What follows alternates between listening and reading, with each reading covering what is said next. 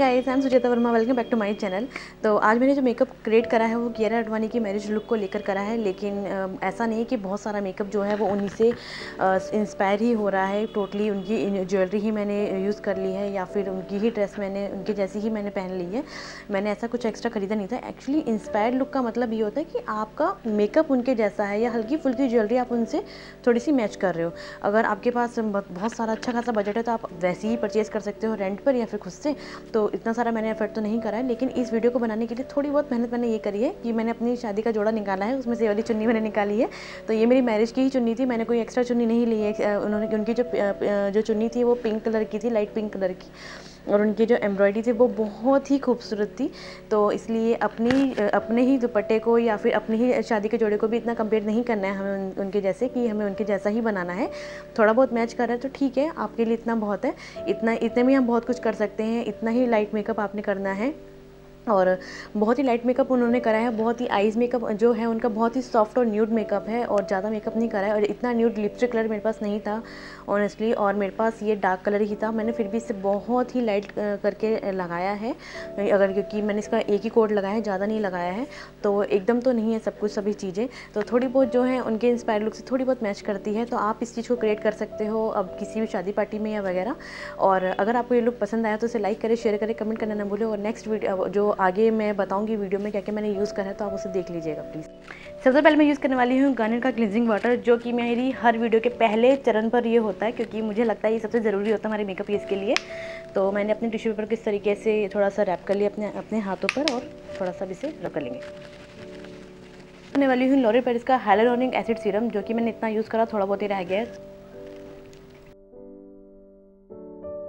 करने वाली हूँ डॉटिन की का सुपर मेट मॉइस्चराइज़र जो कि आपके फेस से बहुत अच्छा सा ग्लो देता है और साथ ही साथ ही बहुत ही मैट है, जो कि लगाने के बाद बिल्कुल मैट हो जाता है बिल्कुल भी ऐसा पैची लुक नहीं देगा आपको।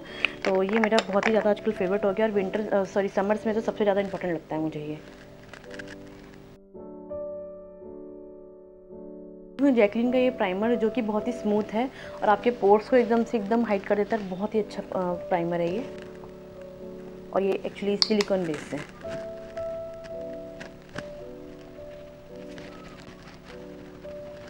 यूज़ करने वाली हूँ इनसाइड का कलर करेक्टर क्योंकि मेरे डार्क सर्कल्स और बहुत सारे डार्क स्पॉट्स हो गए तो उसको थोड़ा सा हाइड करने के लिए। तो सबसे पहले मैं यूज़ करने वाली हूँ ये ऑरेंज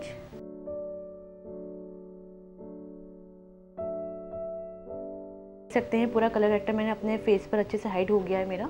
और जितने भी डार्क सर्कल डार्क स्पॉट्स से सब हाइड हो चुके हैं। और इनसाइड की ही ये किट मैंने ली थी और पर्पल डॉट कॉम से मैंने मंगवाई थी। बहुत ही रीजनेबली से कोई परचेज़ कर सकता है तो मुझे ये एक्चुअली इसे यूज़ करना बहुत पसंद है। तो नेक्स्ट का ये फाउंडेशन जो कि है 50 एस और जो 30 एम है, आपको किसी भी साइड को अच्छा खासा मिल जाएगा, लेकिन इसके अंदर तीन वेरिएंट अभी आया थे अभी हाल फ़िलहाल अभी लॉन्च हुआ है।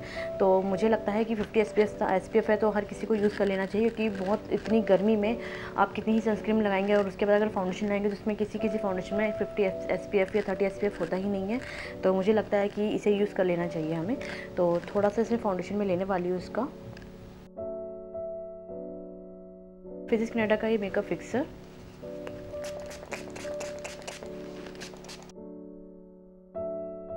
नेक्स्ट मैं यूज़ करने वाली हूँ मेबी इनका ही कंसीलर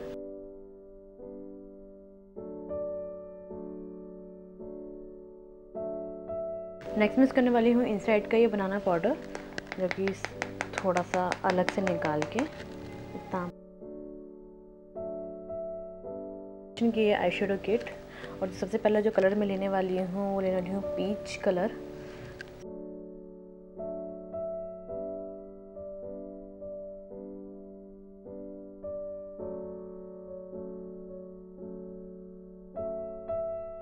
ये काजल. लेकिन मैं बहुत ही लाइट सा लाइनर यूज़ करने वाली हूँ, क्योंकि कियारा ने बहुत ही लाइट मेकअप करा है इसमें। हल्का से एक विंग निकालूँगी बस इतना ही, ताकि आपकी आइज़ को थोड़ा सा शार्प शार्प लगे। जो आपकी जो लाइनर है, वो आपकी आई के पास ही होनी चाहिए।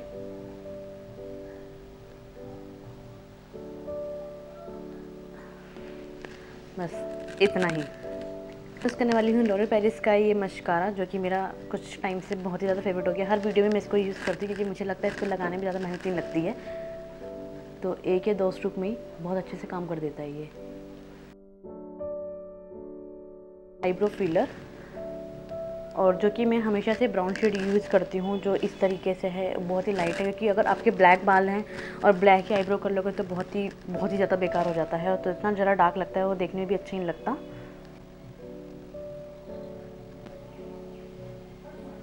कोशिश करें कि जब भी आप अपने आईब्रो को फिल कर रहे हो थोड़ा सा आर्श आप ऊपर की तरफ़ दे दीजिए दे दीजिए ताकि थोड़ा सा जो भी है आपका आईज पे थोड़ा सा लुक अच्छा आए और जिसकी गोल भी आईब्रो है ना तो आप डिफरेंट देख सकते हैं इस तरीके से। मुझे इस तरह की आईब्रो बहुत बहुत पसंद है क्योंकि कभी होता है हमेशा ही एक मेरी सेट नहीं रहती है, कभी गोल हो जाती है और कभी एक ऊँची नीचे हो जाती है तो थोड़ा सा रहता है क्योंकि जल्दी जल्दी में रहता है, हम ऑफ़िस से आते हैं, करवा लेते हैं शाम को और फिर ध्यान देते हैं। अगले दिन याद आता है कि अरे, आईब्रो हमारी ख़राब हो गई है तो मैं सिर्फ़ इसी का सहारा लेती हूँ फिर। ओटो का ये वेलवेट ब्लश जो कि हल्का सा लेती है बहुत सारा काम कर देता है ये तो मैं बहुत ही थोड़ा सा लेने वाली हूँ। इतना सा इसमें से ही बच जाएगा क्योंकि ये बहुत ही थोड़ा सा बहुत अच्छा काम कर देता है। तो वही यूज़ करूँगी अपना ब्यूटी ब्लेंडर तो अगर मैं इसको थोड़ा सा बोलूँगी, मुझे बहुत ज़्यादा इसको यूज़ नहीं करना तो आप थोड़ा सा इसके अंदर मेकअप स्प्रे डाल दीजिए, इस तरीके से। और इसमें थोड़ा सा इसको रब कर लीजिए। और जहाँ आपको लगाना है, जैसे कि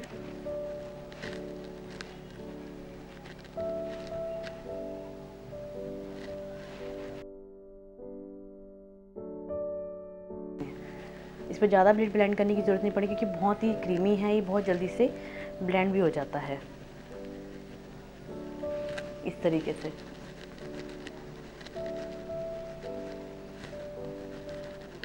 जो क्रीमी ब्लश होते हैं, बहुत जल्दी से लग जाता है, बहुत जल्दी स्प्रेड हो जाता है और इतना सारा बच भी जाता है हमेशा। मेरा इस ये वाला ब्लश हमेशा यही रहता है कि मैं थोड़ा सा लगाती हूँ, लेकिन बहुत ज़्यादा बच जाता है क्योंकि इसमें इतने से भी बहुत कम लेना पड़ता है क्योंकि ये पम्प फॉर्म में होता है तो थोड़ा सा निकालती थोड़ा सा लगता है कि ज़्यादा निकल गया है। तो कोई बात नहीं, इसको बाद में यूज़ कर लेना, अगर आप रख रख सकते हो उसको थोड़ा स्टोर करके।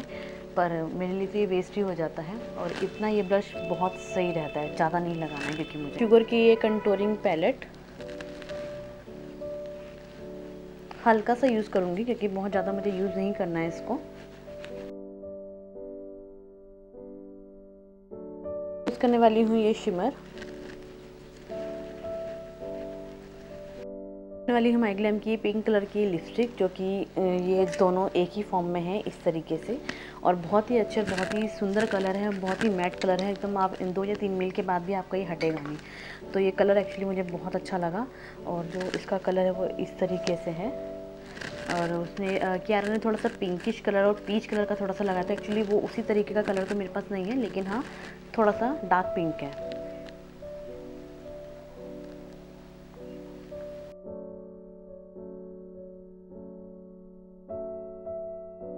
ऑर्डर है, मैं उसको थोड़ा सा रिमूव कर दूँगी।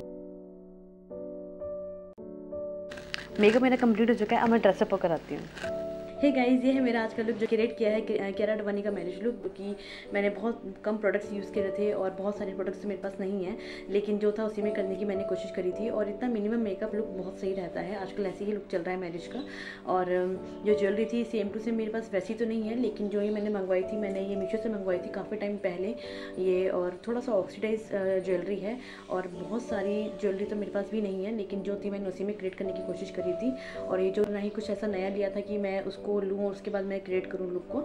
अगर बेसिक जो होता है हमारा मेकअप से इंस्पायर्ड लुक होता है, ज़रूरी नहीं है कि पास जो भी ज्वेलरी आपको एक्स्ट्रा लेनी पड़े या एक वीडियो के लिए आपको एक ज्वेलरी परचेज़ करनी इतनी महँगी, ऐसा नहीं है। हम उनको नहीं वेट कर सकते। लेकिन आपके पास जितना भी प्रोडक्ट है, जितने भी ज्वेलरी है, आप उसमें से करने की कोशिश कर सकते हैं, जो कि मैंने भी इतना ही करने की कोशिश करती थी। बहुत एक्स्ट्रा मैंने नहीं यूज़ करा है और जो मेरे पास था, मैंने उसी में ही करने की कोशिश करी है। होप आप लोगों को ये लुक पसंद आया हो अगर पसंद आया तो उसे लाइक करें शेयर करें कमेंट करना ना भूलें। और थैंक यू